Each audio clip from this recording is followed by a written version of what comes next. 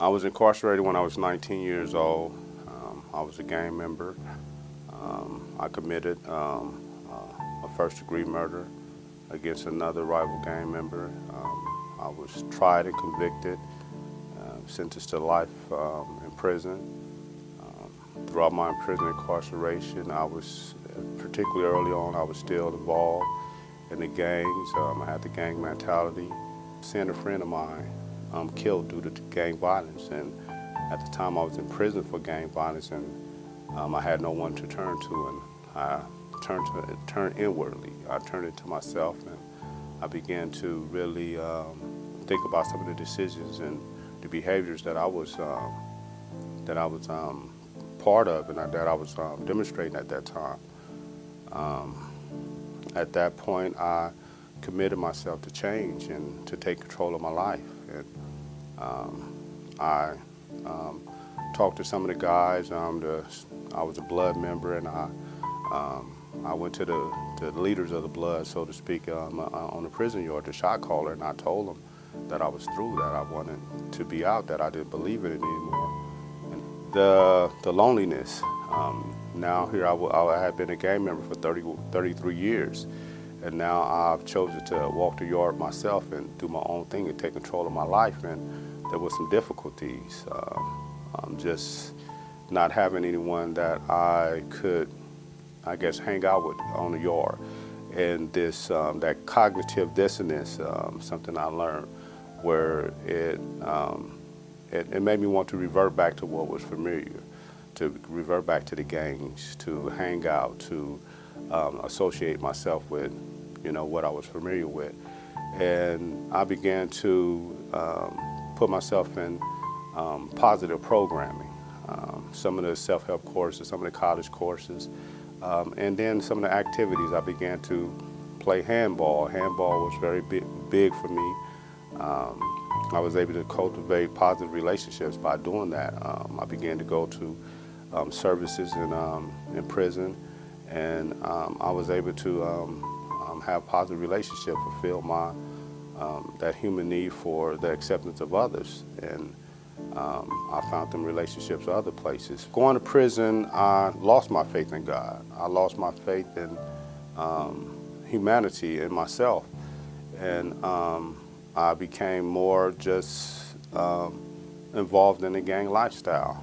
Um, as I began to really explore these areas of my life, these um, traumatic experiences um, from having friends, family members um, murdered and killed, and um, the crimes that I committed myself, um, there was this gratitude that came, and it, it came from um, a higher source. you know, I, I always remember people saying they had a personal relationship with God, and I wanted that. And I began to pray. I began to pray every morning, every night and it wasn't to any particular um, belief or, or religion. I just began to pray, pray to God, and I knew that I, I was blessed in so many ways. Um, and as this gratitude, it became one of my values, one of my values for values for um, responsible living, and um, that became my um, spiritual guidance. Um, just, just that that there's something greater for myself and for my life. I don't feel, out of all the people that I've lost in my life, for me to still be here today and still have um, my physical and my mental and my, my spirit intact, I feel, feel blessed. My goal is at this point, um, I, I, to, to enroll in college, to um, get more college credits. Um, I eventually want to um, study in the field of social studies, particular to be a counselor. Um, some of the things that I've learned um, about myself, you know, I had that fork in the road where I had the opportunity to go the right path and the wrong path, but I did not have no one there to help guide me down the right path, and I chose the wrong path.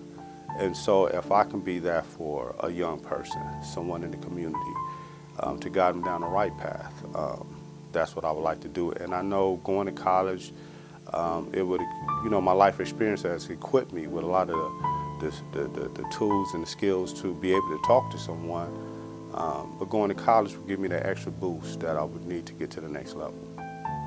Some of my other goals is um, really connecting with my family, to bring my family together. My family um, is very fractured. Uh, my mother's mother died when she was six months, and that created a huge uh, fracture for my family. And then to have my mother um, pass away at 39, and um, so now we're just all over the place.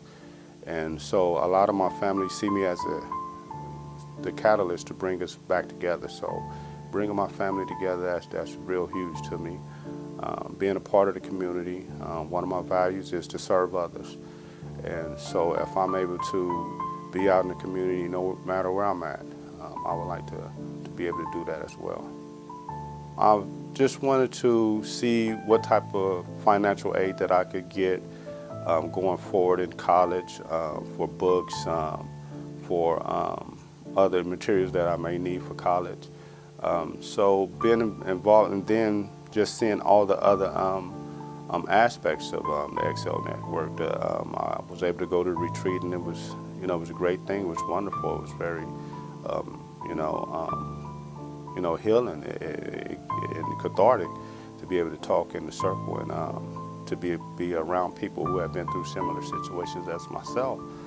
So um, I, I, I, see a future with the Excel network and um, all the other things that they provide, the, uh, the, the, sense of community of belonging to something um, greater than myself.